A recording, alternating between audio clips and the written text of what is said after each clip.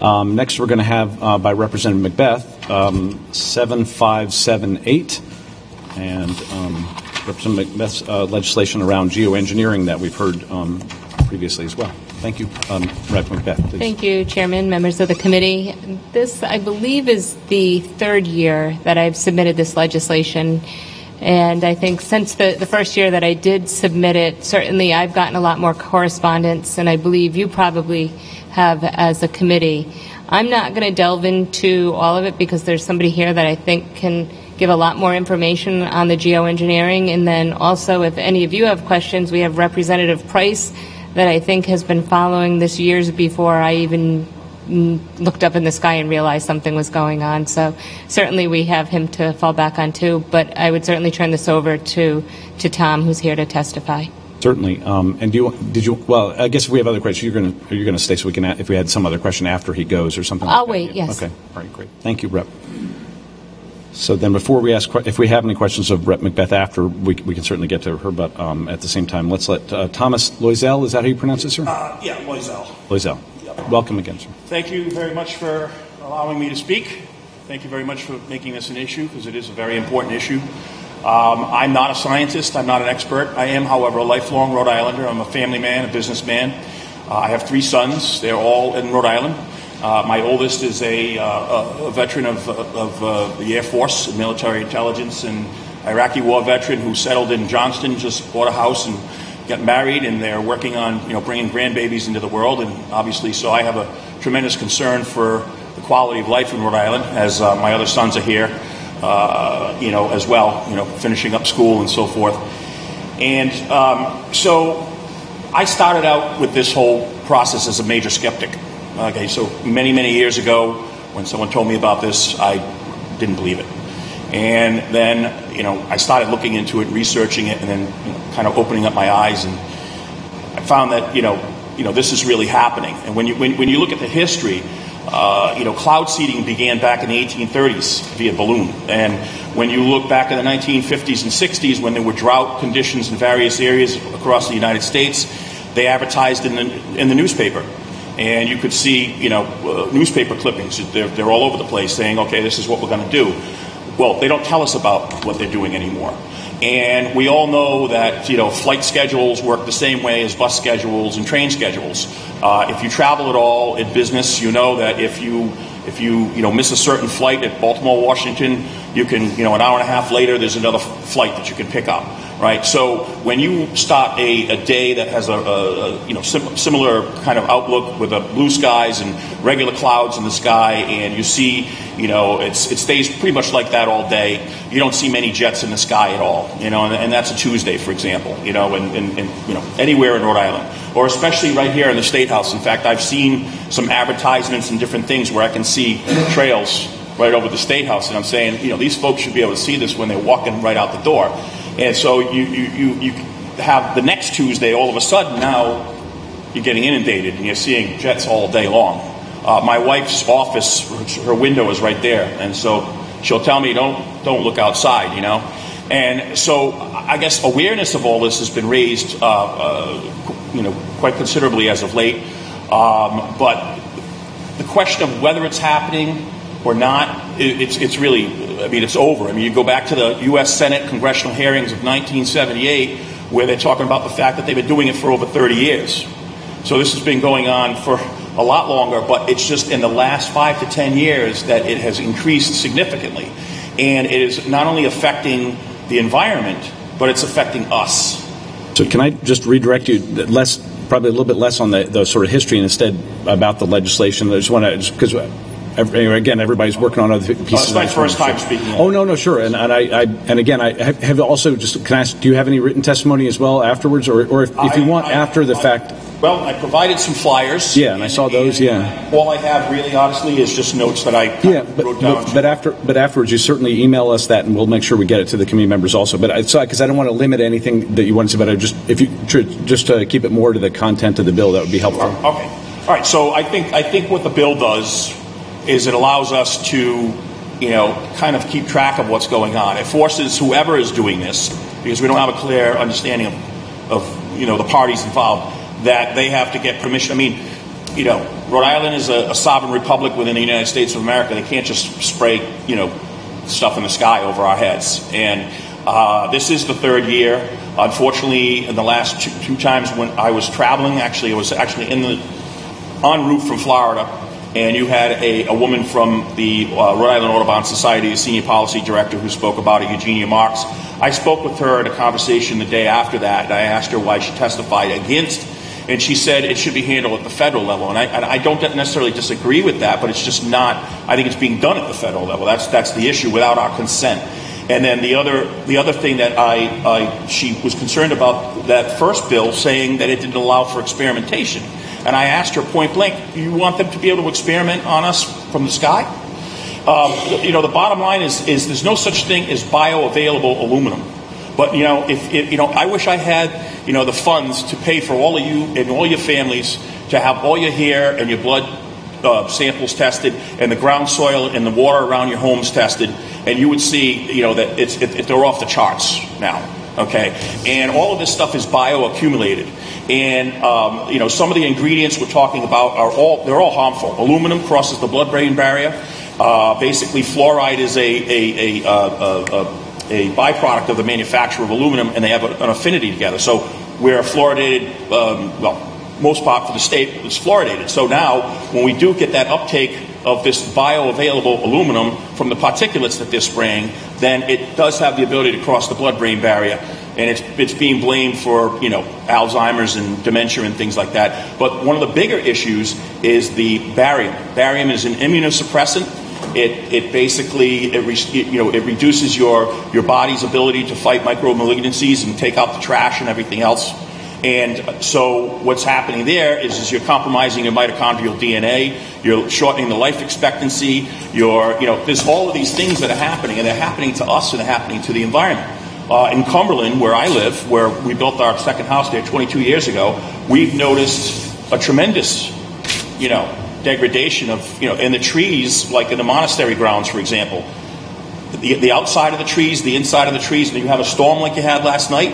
Uh, you know, if we go walking this weekend, if it's a nice day, I guarantee you we're going to see all kinds of trees that have, you know, you know, and, and, and I'm not the only person that's seeing these things. Obviously, I'm the only person that showed up to testify. But I think that th- what this bill does is it satisfies, you know, uh, the need for us to know exactly what they're doing, when they're doing it, have them get you know get permission, and then decide whether we're just going to outlaw this stuff over the if, if we have the power to do so. You know, because if the federal government comes and says, "All right, this is something that we're doing," and they can't give us plausible reason, you know, for it, then you know we have to fight back as best as we can because it's our children, it's our families, it's our it's, it's everything. It's our environment here. Rhode Island's a beautiful place. I mean, uh, I was happy to know that uh, Representative Price is aware of this before I was ever aware of it. But the fact of the matter is, is his district in Exeter, Hopkinton, and Richmond, beautiful, beautiful area, and it's what Rhode Island, you know, it's, it's a good part of what you know Rhode Island has to offer, and for us to compromise that or allow it to be compromised by, you know, foreign parties, is, it's it's unconscionable. So. Thank you. Any any questions for um, Mr. Langlois? I have one, Mr. Chairman.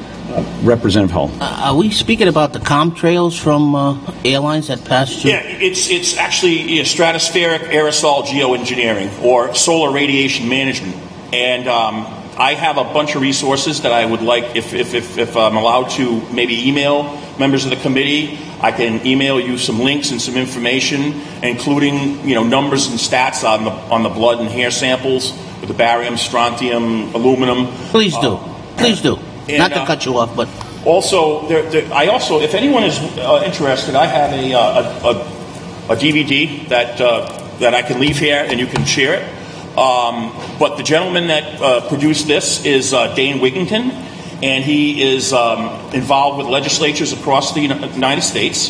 He has a Saturday call with lawyers and folks and, and others, and they're trying to figure out a way, you know, to, to, to deal with this issue. And so he's working with a lot of, and he has invited any legislators from the state of Rhode Island who would like to participate in the call to do so. You know, it's, it's you can, you know, just be kind of anonymous, just listening in and hear what they're, what they're trying to do.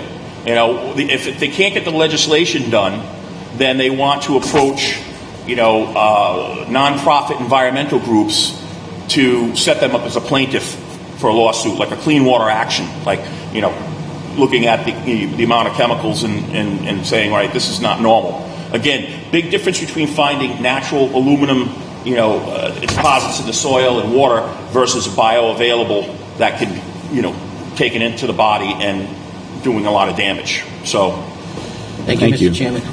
Thank you, Representative Hull. Any other questions? Representative Regunberg. Thank you, Mr. Chairman. Uh, more of a comment, and I made this last year, but I just want to say I, I appreciate some of the, the findings of fact uh, in this legislation. Um, and I, I personally don't know and, and haven't seen much evidence of whether geoengineering is, is happening currently, but I do know that, that there are serious people having real conversations about trying to do this, and it's a testament to how uh, to what a crisis we have gotten uh, at this point with climate change and, and what the consequences are that people are are having serious conversations about doing extreme things like this. Um, and so I, I appreciate in the in the findings of fact laying out that um, that that is an insane answer. There are ways that we can respond to climate change. There are ways we need to respond to climate change. Uh, we need to get to a uh, clean energy economy. We need to get resilient, um, but we can't sort of hack the climate system by going around and thinking that as humans we can use technology to to to fix this and change the global climate. And and there and if we tried that, there would be significant consequences. well, if you to speak with Dane, he would speak with you. He's very passionate about this. He's been doing it all on his own expense.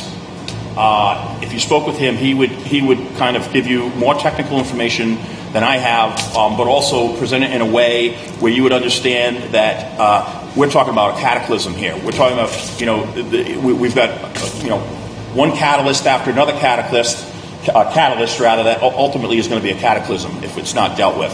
And he's not a um, global warming, climate change skeptic.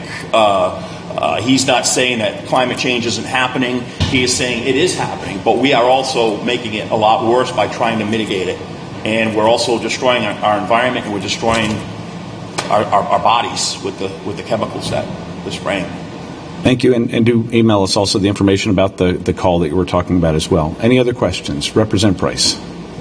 Uh, yes, thanks for coming in. Uh, nice talking with you the other day.